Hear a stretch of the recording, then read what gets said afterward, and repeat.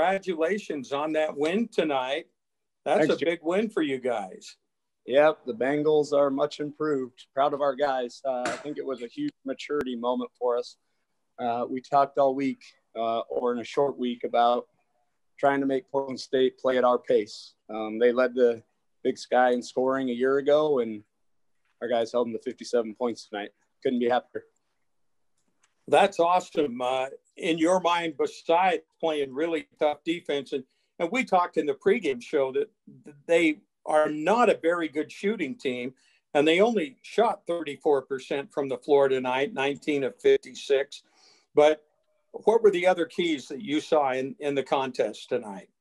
Well, they're a very, I haven't seen the final stats, but they're a very good rebounding team. I know for most of the game, uh, we were up or even uh, in that area. So that was you win, thing. you win that battle, Ryan, 36 to 29. That's huge for us, Jerry, because we turned it over quite a bit more than they did because of all of their uh, pressure. So I think that was the biggest key. Um, and for us to come out with that kind of rebound margin against another elite rebounding team is pretty special.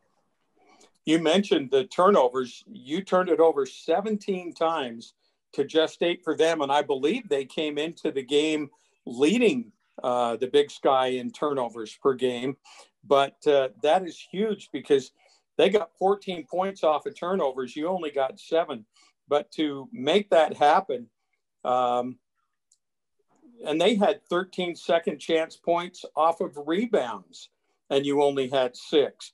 But uh, talk about your bench 20 points tonight. Malik Porter coming in and eight points, and Emmett Taylor uh, was uh, dead eye tonight, four for four from outside the arc.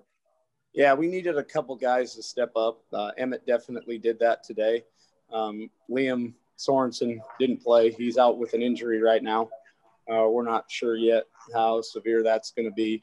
Um, but because of it, uh, against uh, a very good pressure basketball team, uh, down one of our primary ball handlers, we needed some guys to step up. Emmett did. Gideon Buzengu got in and provided some quality minutes. Uh, Zach Visentin uh, was in there, uh, got himself in foul trouble. Wish we could have used him more. If there's a bright side, he'll be plenty rested for the back to back. So yeah, we had a lot of guys step up. I think it was a total team effort tonight. Um, even the guys who didn't get in the game, I thought our energy on the bench was fantastic.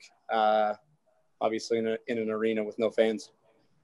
Now, I've got to bring up Brayden Parker uh, had six turnovers tonight, but played 32 minutes, and and you used him in somewhat of a different role tonight with the pressure defense the Vikings had. You had him coming out top of the circle almost on every possession, coming across midcourt.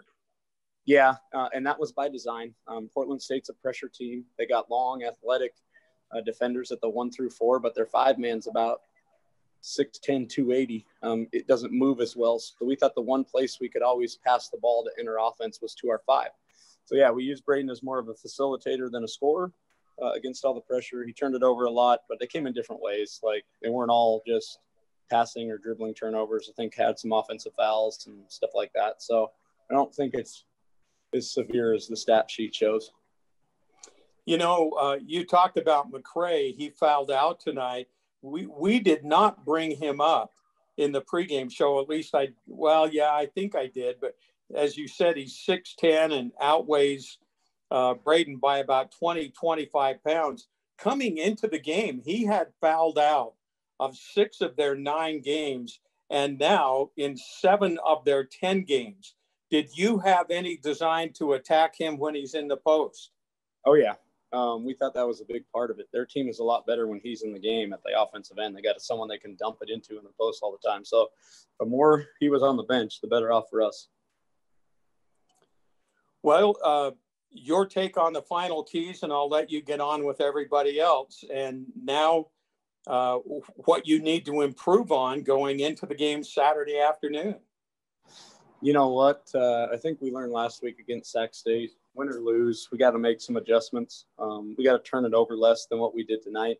Uh, we know that the second time around, probably even got to be 10 points better than what we were uh, today to be able to get away uh, with the win. So we're excited to get to play again. We're excited also with a long week with Sunday, Monday games ahead of this to get a, a day with only practice tomorrow uh, to get prepared. Um, we're tired for sure. But we'll handle it the right way and get ready to go again on Saturday. My final question: How do you feel about being four and one on the road in the Big Sky, and now with five league wins already surpassing your total from last year? Yeah, and I keep saying it, Jerry, but I don't want everyone to be surprised by this. This is what our expectations were. Um, to be a great team, you got to be a great road team. Um, I, I hate the old cliche that when you go on the road, all you need to do is split. That's that's not going to be us. We're trying to win every game, whether it's uh, home or on the road. We'd like to be a team that uh, can play the same way in either environment. Um, I always go back and look, like in my former job at Point Loma, uh, my uh, last season there, we made a big deal about all the way to the national championship. And in that season, we were we were undefeated in our road jerseys. So we were that team uh, was probably better on the road than what we were at home over the course of the season.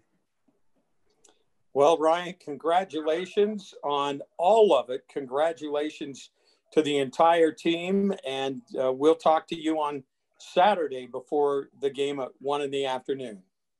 Thanks, Jerry. Jordan, Jordan, do you have any questions for Coach? Uh, just like two. Um, Ryan, you mentioned last week that uh, you were kind of hoping to rely on some guys, but needed to see um, their defense improve in practice. Was Emmett one of those guys who stepped up, or was he just hitting shots in the, the minutes he had? I think all of them uh, stepped up in practice with defense a little bit. Emmett just got an opportunity because of his shooting to go into the game uh, today. Um, we need guys to improve in that area, uh, but we need our whole entire team to improve. But with it, we like where we're at. I mean, we just held a potent offensive team uh, in past history to 57 points. Yeah.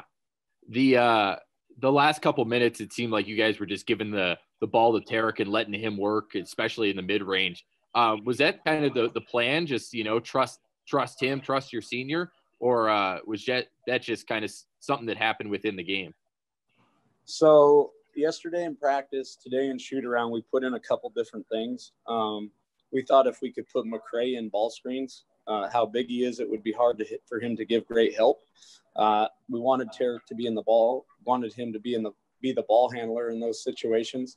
Uh, so credit to our guys. Uh, we put in a couple wrinkles in practice, and they were able to execute it late in the game. Got uh, last thing uh, you mentioned not wanting to split road series and and your great record at Point Loma. I, what what do you do on the road that that I don't know it doesn't lend itself to uh, at showings like uh, most teams around the country? You know what? I think we do a really good job of spacing things out during the day, uh, not letting there be any moments of uh, boredom or maybe just laying around in your hotel bed. Um, we do film sessions. We space out meals. Uh, we have study tables where we're doing homework, um, keeping everyone up and alert before we get to the point in the day where we got to start getting on the floor uh, to play basketball, whether it be practice or a game. Uh, and honestly, I think we have a really good group of guys. They like being around each other. Um, when you're in an airport, on a plane, in a bus, in a hotel, uh, you got to enjoy the people that you're around. And I think our group does. Awesome. Thanks so much, Ryan. Congrats. Yep. Thanks, guys.